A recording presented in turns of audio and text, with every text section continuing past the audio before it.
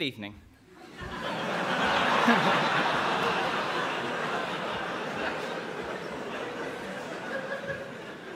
Tonight, I'd like to talk to you about why we should slow down the Earth's rotation and how we can bring it about. As some of you might, oh, before I begin, I do just have to let you know that my views aren't endorsed or supported in any way by the university. now, some of you might be aware that this has, the consequences of the Earth ceasing to rotate have been discussed previously, such as by Randall Munroe in What If, or National Geographic's Aftermath documentary. Um, However, these studies have been flawed for two reasons. The first is that they haven't offered any mechanism by which we could actually achieve this state. And the second is that they focused, perhaps inordinately, on the downsides that would accompany it, which include the extreme temperatures on the opposite sides of the planet due to the extended day-night cycle, the storms of frankly ridiculous magnitude between the two sides because of the temperature difference, and also possibly the loss of the Earth's magnetic field, which would expose us to the solar wind. Not to accuse them of sensationalism, but I feel these sources have clearly neglected to consider the various advantages this could bring about. So, um, why should we stop the Earth's rotation? Well, one reason is that we get the centrifugal force. This means the planet bulges out of the equator, like a, like a pizza being spun. And this is surprisingly inconvenient. It means the weight is different depending on where you are on a planet's surface. And also, the Earth becomes not a perfect sphere, as we would like it to be.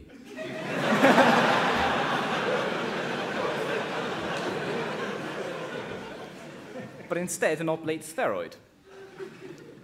So, if we were to slow down the Earth's rotation, that would be ideal for science, or physics at least. Um, with a constant gravitational field across the planet's surface, you, physics experiments could be so much more consistent in their conditions.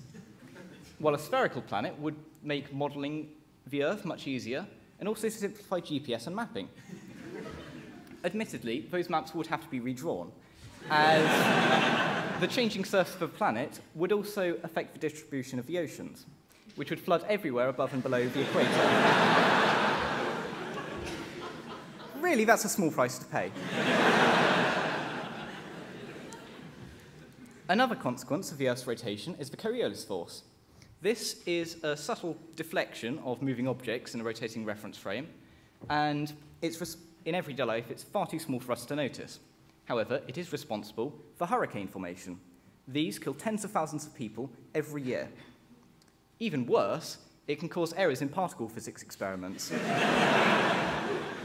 So this is clearly something we need to get rid of as soon as possible. and the simplest and easiest way of going about this is just slowing down the Earth. Um, that way, with one fewer source of error to consider, physics can advance that little bit faster for the rest of human existence, however long that might be. and we'd also eradicate hurricanes, but I'm not quite sure how it um, plays into the other side effects. And one last reason to slow down the Earth's rotation is that it means um, is that our current rotation means that we have far too many different definitions for what a day is. And all of these are flawed. We have to use leap years, leap seconds, and daylight saving time to compensate. So, if we slow it down to something much easier to work with, we can make things a lot easier for ourselves.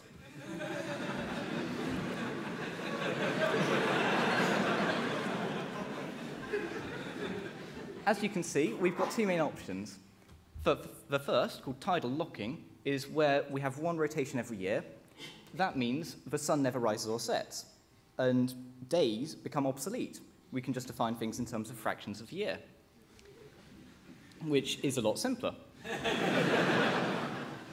the other possibility is to get rid of all the rotation entirely, in which case a day becomes identical to a year, and the sun rises or sets not because of our rotation, but because of our orbit around the sun. So both of these would be a lot more logical, and without daylight saving time, we'd save millions every year in opportunity costs. and there'd be no risk of forgetting to put your alarm forward and going to lectures late. So, how can we achieve this?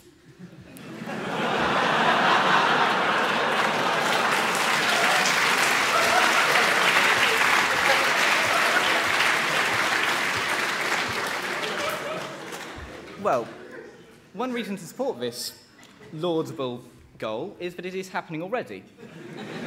because of this tidal locking process, which is a sort of gravitational friction.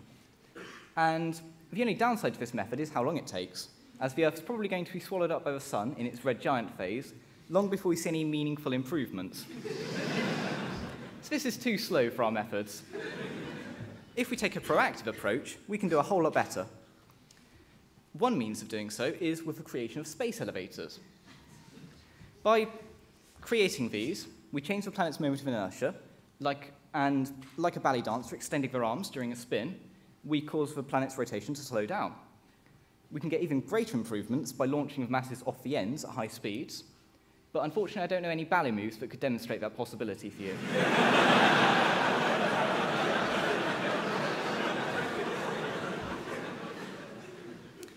the main obstacle with this approach is that it relies on the space elevator cables being possible to create. Um, so we really need those materials engineers to finally get their act together. I mean, seriously, we could be having this conference on Mars by now. So this is clearly unfeasible because they just need, can't finish it in time. So instead, we need another method. One option is rotating objects on the Earth's surface. These can take away some of the planet's angular momentum, and that slows it down. Unfortunately, the effect is very small. And, and the only way we'd see any meaningful improvements would be if we did something ridiculous, like spun up the space elevators and attached them to the poles. which is too, practical, too impractical even by my standards. So, and also it relies on elevator cables being possible to create. So, instead, the most practical option is to bombard the planet with asteroids.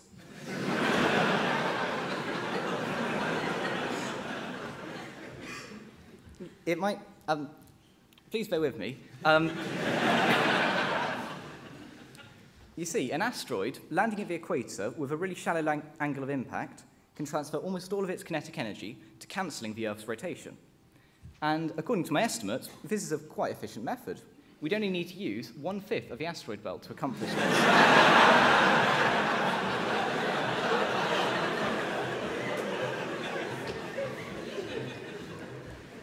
Another advantage to this method is that it's achievable with current technology. NASA's already planning to retrieve a single 500-ton asteroid, and from their cost estimates, we can extrapolate how much this would cost, which is approximately 10 sextillion pounds. that's 22 zeros. Um, however, there is still hope. Um, for a project that is not for anyone living on the planet.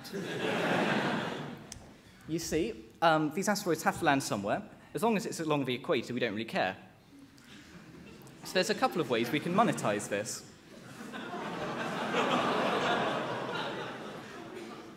the first is that the asteroids would deposit a lot of rare earth metals, which would make a lucrative mining opportunity for any, anyone who didn't have the misfortune to be killed by the impact. and national governments are probably going to be quite keen to have a say in where these asteroids land. So we could let them bid on it.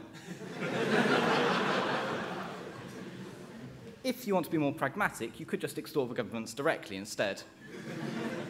Um, that way they pay for the project, and in exchange, they don't become immediate victims of it. so it's clear we've got a reason why we should do this. We have a means of carrying it out. And now the only question which remains is whether we stop at tidal locking, that's one rotation per year, or get rid of all spin entirely. And this part is ultimately a debate between ideals and practicality.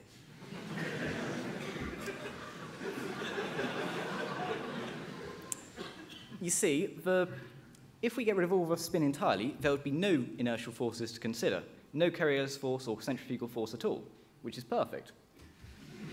Uh, for high precision physics experiments, at least. However, to maintain this state against the pull of various celestial objects, it would require regular asteroid impacts, which might negate the advantages for highly sensitive experiments you'd want to carry out.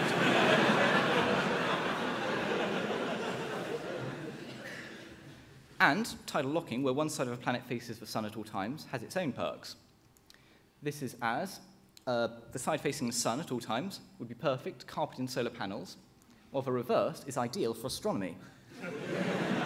Those highly expensive telescopes would not become utterly useless during the day, and once the atmosphere starts to condense out and get blasted off into space by the solar wind, you wouldn't even ha have any of that annoying air getting in the way of observations. so, to conclude, I think it's obvious that removing the Earth's rotation would be of great benefit to science, or at least physics, the only one which matters, um, as we'd have no inertial forces to consider, uh, that means fewer sources of error, and we can consider the Earth as a uniform sphere, which is what physicists love to do. So physics could advance that a little bit faster for the rest of human existence. There'd also be fringe benefits, but these might be outweighed by the minor disadvantages, which I think we can sum up most succinctly by saying that everywhere on the planet is becoming un uninhabitable some way or another. but I don't think we should let that hold us back from making the Earth a much more hospitable place, if not for us, then for physics. so thank you very much for listening. I hope you enjoyed the talk.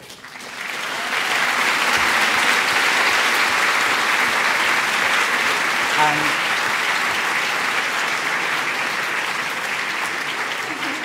and I hope you'll be willing to provide me the support in helping my project achieve the funding it deserves.